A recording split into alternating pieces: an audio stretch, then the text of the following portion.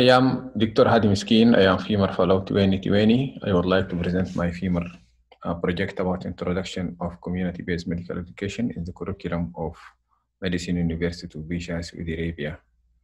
Thank for my supervisor, Professor Yasir Wazir, for his uh, technically supporting uh, this project. The concept of community-based medical education has been well highlighted by the University of Bisha uh, and by the Saudi Vision 2030.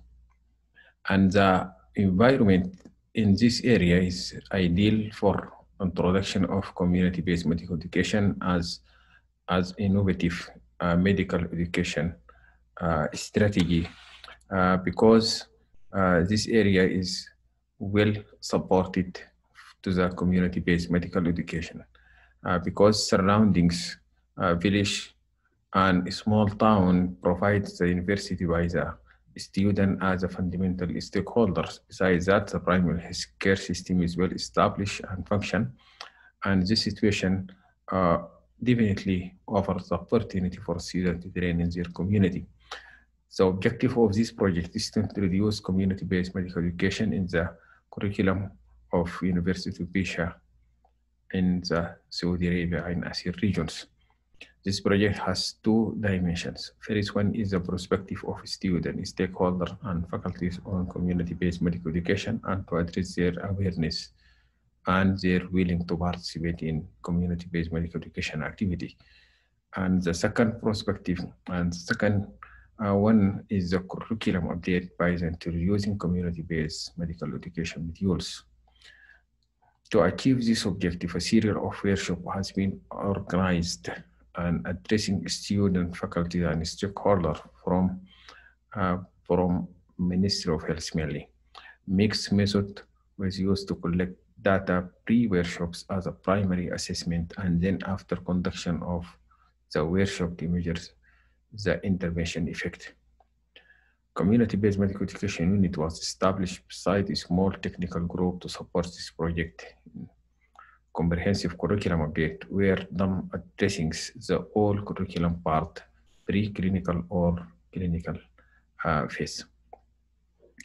The study participant completed the pre, pre-post, uh, pre, uh, pre and post assessment and attend the workshops where one and 165 students, 50 faculties and 75 stakeholders from the Ministry of Health this intervention uh, uh, has been, uh, this intervention raised student awareness and interest to work in the rural area and build a positive perception toward community-based medical education significantly as uh, shown in these figures. Uh, also the staff and the stakeholder willing to participate in community-based medical education activity also has been uh, raised significantly. Regarding the curriculum update, 16 13 courses were identified as the area of curriculum update in the pre-clinical and clinical uh, phase of the curriculums. Specific learning outcome were updated, health center, family and rural hospital, and the Ministry of Health program, vertical program were recommended as community-based medical education settings. We can conclude that the positive perspective of student, faculties, and stakeholders will facilitate the extension to which these, part, this perception support curriculum update to apply community-based medical education to the uh, module to the current uh, curriculums. Focus on the main component of community-based medical education, primary health care centers, families, and the rural hospitals.